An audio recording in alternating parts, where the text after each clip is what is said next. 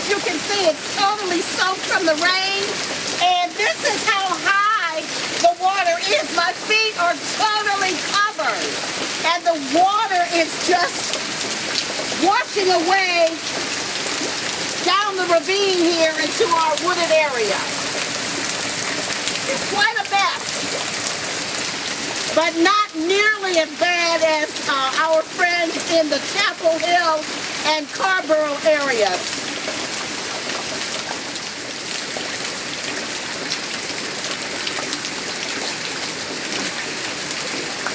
And now the sun is shining as if it never rained.